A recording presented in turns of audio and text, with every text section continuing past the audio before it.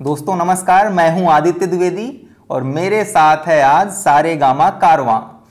ये एक ऐसा प्रोडक्ट है जो करीब 10 महीने पहले भारत में लॉन्च हो चुका है और हाल फ़िलहाल में इसे यूएस में लॉन्च किया गया है तो हमने सोचा क्यों ना एक बार फिर से इसका रिव्यू करते हैं। ये हमारे पास रिव्यू के लिए भेजा गया है। इस प्रोडक्ट की खासियत ये है कि इसमें पाँच हज़ार चुनिंदा गाने चुन चुन के रखे हुए हैं। मतलब लिटरली हम इसको एक हफ़्ते एक हफ़्ते से इस्तेमाल कर रहे हैं और इसमें हर बार इसमें कुछ नया हमको मिल जाता है जो हमारे स्ट्रेस को कम करता है।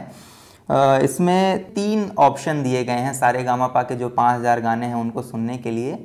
पहला है आर्टिस्ट, उसमें आप अलग अलग आर्टिस्ट के गाने, मुकेश के, किशोर कुमार के, लता मंगेशकर के गाने आप सुन सकते हैं। दूसरा है मूड्स, आपका किस वक्त कैसा मूड है, उसके हिसाब से भी गाने अलग अलग कैटेगरी में रखे गए हैं। आप अगर खुश हैं तो खुशी के गाने, अगर गम में हैं तो दर्द भरे गाने, अगर आप पूजा करना चाहते हैं तो स्पिरिचुअलिटी से भरे गाने ये इसकी खासियत है। तीसरा एक इसका जो सबसे बेहतरीन फीचर है, इसमें जो है गीत माला जो कभी रेडियो सिलोन पे अमीन सायानी प्रस्तुत किया करते थे। तो गीत माला का ऑप्शन है, उसमें करीब पिछले पचास सालों के जो गीत माला के एपिसोड किए गए थे, वो इसमें तरीके से रखे गए हैं और उन चुनिंदा गाने और वो कमेंट्री आप जब सुनते हैं तो जो पुराने लोग हैं, जो उस दौर में जो जवानी पे थे उन लोगों के लिए एक बहुत ही अच्छा जेम है ये। इसमें कुछ और ऑप्शन है। अगर आप उन पाँच हज़ार गानों के अलावा अपने कोई पर्सनल प्लेलिस्ट बजाना चाहते हैं तो उसके लिए भी ऑप्शन दिए गए हैं। सारे गामापा के अलावा आप यूएसबी मोड में भी इसको ले जा सकते हैं।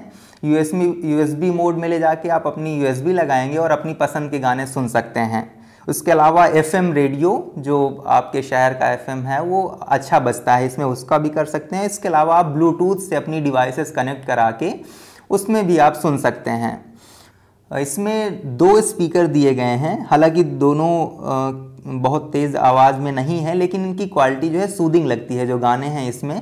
ओरिजिनल क्वालिटी के हैं तो हल्की मध्यम आवाज़ में सुनने पे सूदिंग लगते हैं। आइए आपको एक नमूना पेश करते हैं। अमीन सायानी का गीत माला 1960 इकसठ के इकसठ का एक जादूगर से। जिसका जादू चला था उस साल के हिट गीत नंबर 29 पर फ़िल्म थी मदारी। ये था सारे गामा कारवा।